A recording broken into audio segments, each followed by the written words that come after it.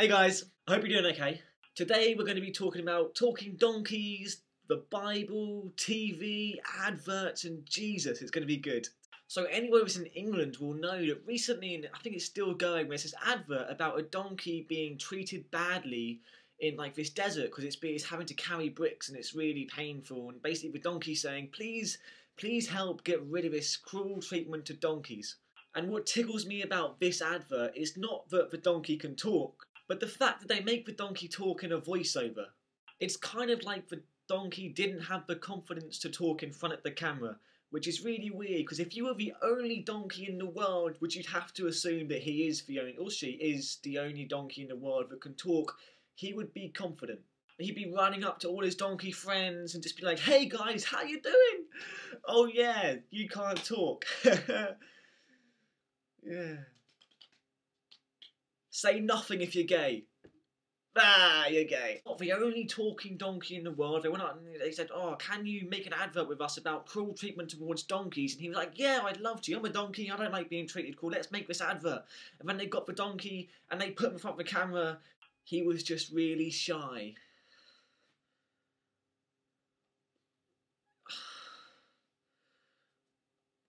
I'm camera shy. Can we? I can't. I thought I could. I, I can't do it. I'm sorry. Can I just do a voiceover? Yeah, voiceover. Yeah. So he does the voiceover and he's like, "Oh, donkeys have to carry bricks and it's really difficult." And I'm kind of thinking, "Well, you are a donkey. It's kind of what you were made for. You're not big. You're short. You're sturdy. You're a donkey. You're kind of nature's answer to the van." Or a U-Haul truck. It even says so in the Bible, which, by the way, ladies and gentlemen, if you don't know what it is, the Bible is this book that was written a really long time ago, and it centers around this main character called Jesus, and it's got like a surprise ending because he dies and you think he's dead, and then bang, he comes back from the dead. It's fucking mind blowing. It's, it's definitely one of my favourite fictional novels. People aren't gonna like that. So anyway, in this book, the Bible, like there's this woman called the Virgin Mary who apparently didn't have sex but got pregnant and then told her gullible husband, "I'm pregnant, but I didn't sleep with anyone, I promise." And then Joseph, the husband, was like, "Okay, we're going to travel from Nazareth to Jerusalem, which is like I looked in the globe. It's really big. It's really big." And they were like, "Right, we'll get a donkey to carry you from Nazareth to Jerusalem, which is huge. It, it's massive. It's massive." And like even in the Bible, donkeys were being treated unfairly. Except this donkey in the Bible has it way worse than this new donkey who has to carry bricks. Because if this donkey drops bricks, nobody gives a fuck. Because drips are meant drips bricks are meant to be dropped. It's kind of what they're made for. That's the least that they're meant to be able to do. Take a little drop.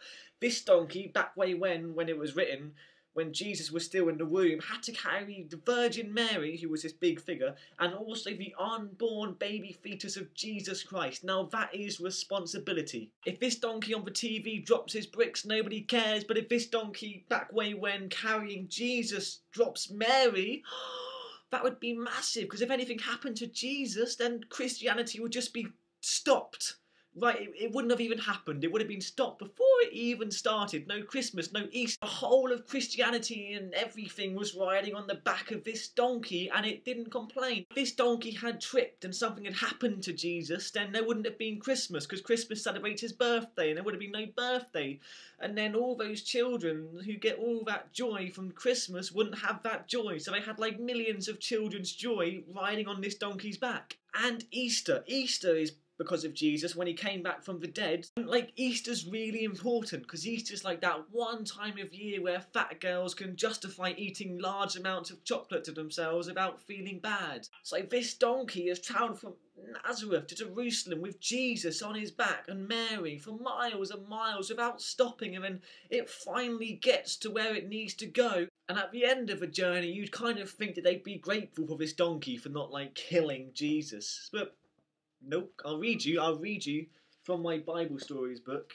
Um, so Joseph loaded his donkey with a few possessions and took Mary on the long journey south from Nazareth to Bethlehem, Bethlehem, not Jerusalem, which was the town of his ancestor David. When they arrived, Mary and Joseph were exhausted. Hang on, why is Mary and Joseph exhausted? Surely the donkey's exhausted. The donkey's the one that's been doing all the work. They've done fuck all. They've just been sitting around. And yet, even though this donkey did all of this hard work back then. This new donkey has the cheek to go on TV and complain over a few bricks. Sorry if I offended any Christians. This video doesn't really lend itself to a question, so I'm going to ask if you could give Jesus any superpower, what would it be?